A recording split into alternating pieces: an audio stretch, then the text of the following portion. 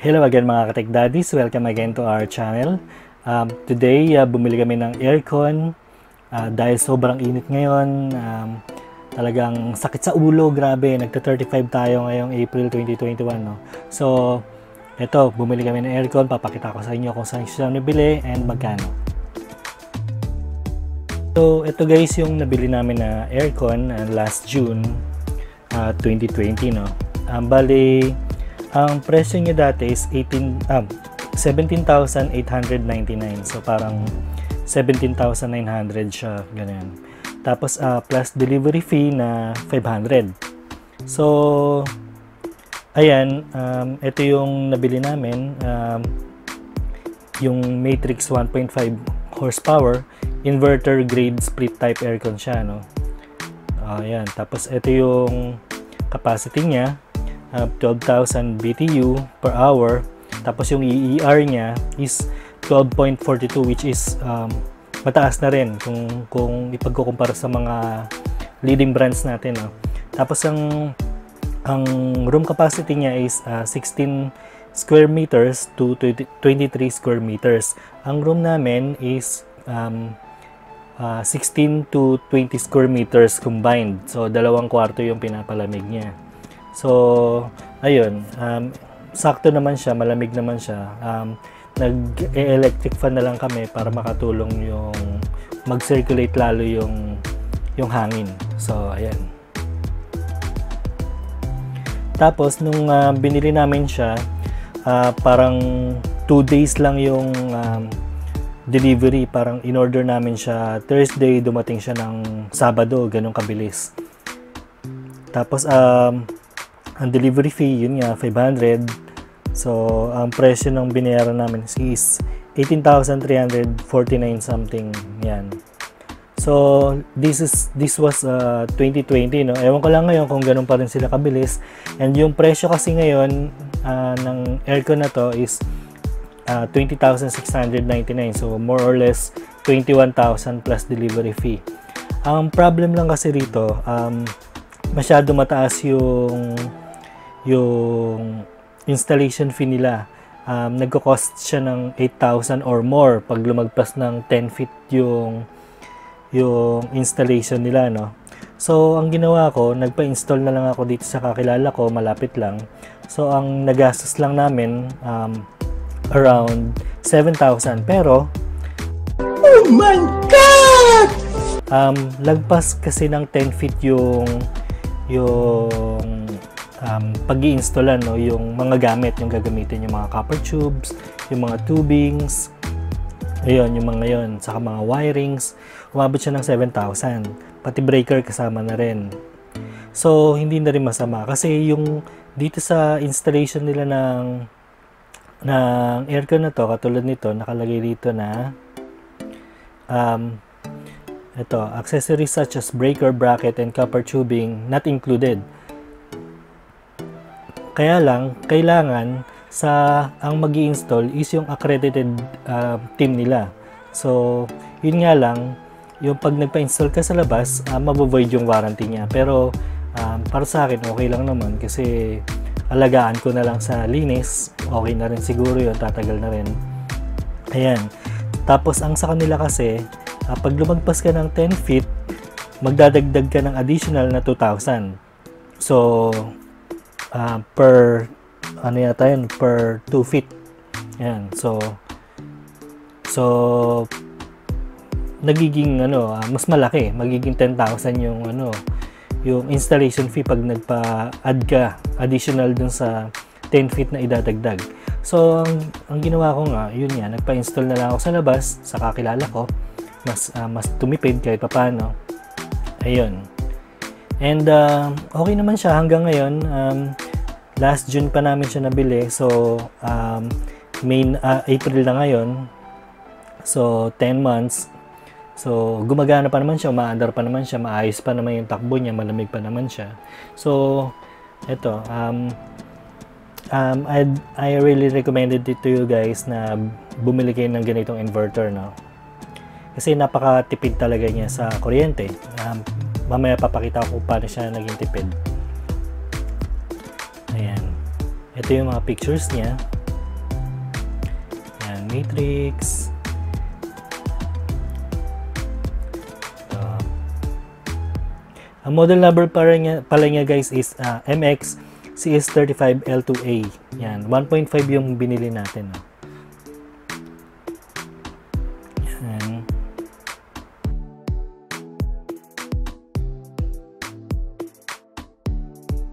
Ito naman yung sa likod niya, yung um, sa labas na outdoor uh, unit.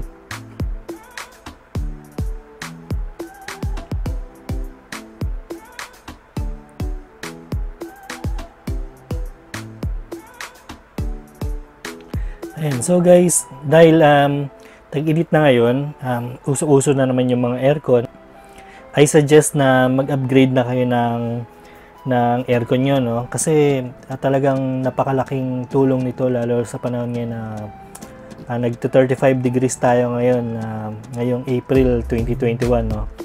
Um, napaka-init, sakit sa ulo, magkakasakit ka, magkakasipon ka. So, ayan. So, maganda naman yung review dito, wala kayong pa problemahin. Um, legit naman siya. Um, hindi nga lang siya ganun ka-branded katulad ng mga LG, mga Panasonic, Colin, mga ganyan. Pero um, sulit na to, mura na kumpara sa iba. Or kung gusto niyo mag second hand na lang kayo na inverter din, na uh, branded. Pero ito kasi uh, brand new kaya mas maganda kasi bago kaysa naman second hand.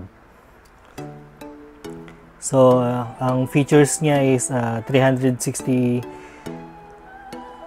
uh, yung ano niya, yung air delivery niya, no? Kasi yung airflow niya, um, yung louver niya nag uh, tumataas, bumababa, tapos uh, may louver din siya na nagsuswing na pa left and right. So parang paikot yung yung delivery ng airflow niya. Tapos uh, full DC inverter compressor. So yan. Um, yung compressor natin is uh, inverter talaga, full DC inverter, no? Hindi siya yung normal na katulad ng aircon na non-type, non-inverter type. So, quiet mode siya kasi nga, syempre, yung indoor natin and outdoor magkahiwalay. So, yung sa labas lang yung maingay. Sa loob, tahimik na tahimik. Tapos, may turbo cooling siya. Uh, kunyari, um, ang gagawin natin is papalamigin muna natin ng 1 uh, hour. For example, ang ginagawa ko kasi, um, 17 degrees, uh, papalamigin namin siya ng uh, one, for 1 hour and then ibababa na namin siya for around 20 to uh, 22 or minsan 24 depende sa uh, lamig. Tapos may self-diagnosis siya, tapos may lower position memory. Ang maganda rito sa lower position memory niya, kung paano mo siya sinet, um, maalala niya yung kung paano yung pag-setup mo sa kanya, yung kunyari, um, uh, in-steady mo lang yung louver niya, magiging ganun siya pag uh, in-start mo ulit or on and off yung aircon mo. So, napakaganda, napakalaking tulong nun. Hindi mo na siya i-adjust ng i-adjust. So, ito nga, um, ang brand niya is Matrix. Ito, fast cooling, sensor control, inverter, split type system. Ayan. Ito yung mga ano niya, mga specs niya, no? Sa mga reviews naman, okay naman yung mga reviews niya. Delivery, 5 stars, customer care, installation, uh, ito aircon unit, 5 star, 22 hours niya ginagamit, oh, biruin mo, for 20 days. So, uh, mukhang okay na okay naman. And sa amin naman kasi, ang ginaga- ginagamit lang namin to for um, 8 to 10 hours max a day. So, wala pa naman naging problema. Ayan. So guys, kung uh, gusto niyo yung ganitong type, ma makakamura kayo kasi talagang maganda siya kahit hindi siya ganun ka-branded. Actually, parang rebranded lang to ng mga uh, ibang type ng aircon eh. Pero, I'm not sure ah, pero parang ganun yung tingin ko. So, eto guys, yung nabili namin last uh, last June 2020 2020. Sulit siya, napaka-affordable niya kumpara sa mga leading brands. Umaabot kasi mga leading brands natin ng mga 30,000, 40,000. So, napakasulit na nito. Tapos yung sa ibang leading brand pa, hindi pa kasama yung, insto- ano, yung installment. So, kunyari 30,000, aabot uh, pa ng 40,000 kasi pa, para sa install installment ay um, install installation ng unit natin, no. So, ito mura na siya. Um, okay, okay naman siya until now. So, kung nag-aanap nga kayo ng mura-murang um, aircon na uh, inverter, kung mag-upgrade kayo, ito na siya guys. Huwag na kayo magatubuli. Um, sulit na sulit, napaka-affordable, tapos napaka-ganda ng performance niya, napakalamig. Um, ayun. So, ito nga yung review natin and uh, pakita ko sa inyo yung uh, yung bill namin, no. Um, ang bill kasi namin dati is um, umabot lang kami ng mga 200 uh, 35 kilowatts per hour something like that tapos ngayon um, since pandemic kasi um, uh, online yung schoolings natin tapos work from home mabot kami ng mga 300 something no? 300 something na I think uh, 340 kilowatts per hour. Pero kasama na din yung um, laptop dalawang monitor. Uh, uh, bali tatlong laptop pala, tatlong laptop tapos uh, isang ay dalawang monitor tapos isang CPU. So tapos uh, may TV pa kami, may ref. So hindi na masama. So ang parang natipid namin dito is um, I think mga nasa 500 to 800 yung natitipid namin kumpara sa aircon namin dati. Kasi ang aircon namin dati, yung dalawang um, non non-inverter na uh, window type aircon, meron kami dating um, uh, 2, 2 HP horsepower and uh, isang 1 horsepower na aircon para sa room. Yung 1 ay yung 2 HP horsepower na ginagamit namin um, sa sala no para malamigan yung sala namin. Tapos separate pa yung sa kwarto namin na 1 HP na call-in. Ang gamit kasi namin doon, um, yun nga, pang palamig ng room namin. So, ang inabot kami ng mga, sa bill ng kuryente namin is 3.5.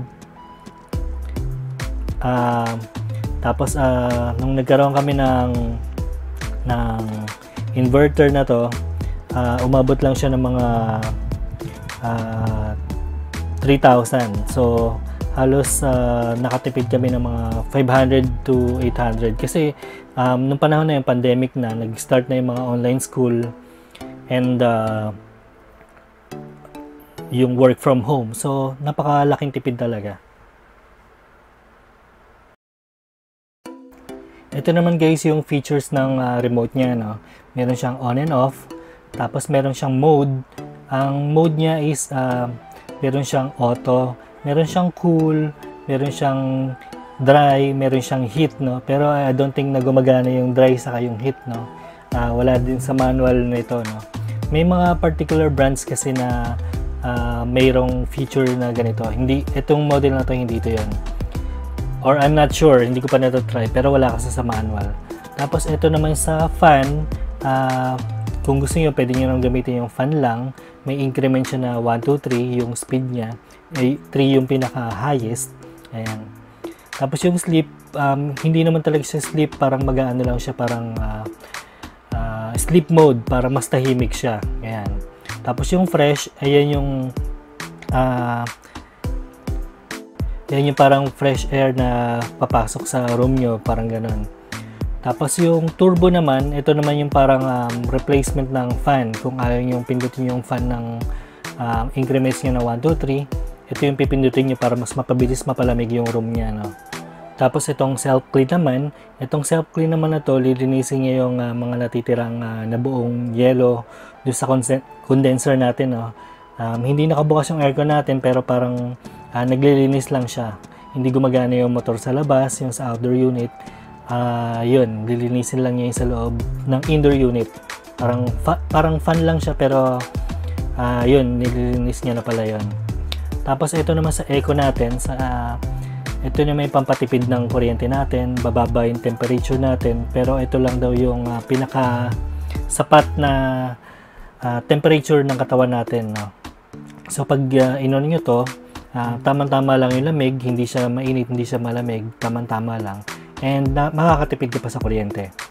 Itong timer on na to, isa-set mo naman siya kung anong oras mo siya um, gustong automatic na magbukas. No? Parang timer off.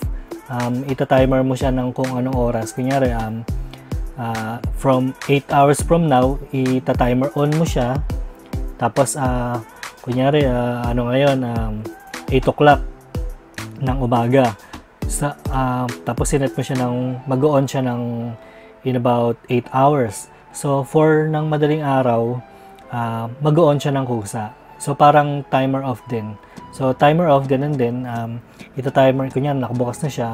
Ito timer mo siya kung ilang oras lang nakabukas dapat yung aircon. And then, automatic mamamatay siya.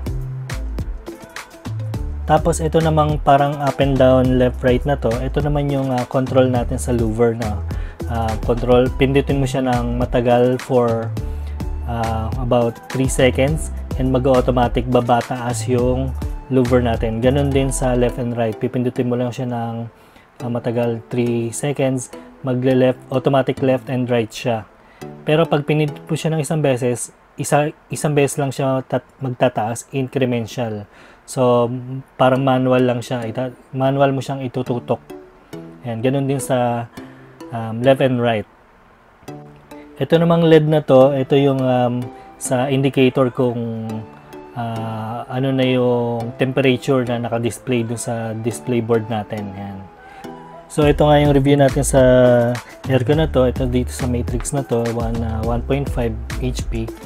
Um, kung nagustuhan niyo yung video na to, please click like, subscribe, and hit the notification bell para sa mga more reviews in the future na gagawin natin. Ha. Maraming salamat sa panonood mga Katek Daddies.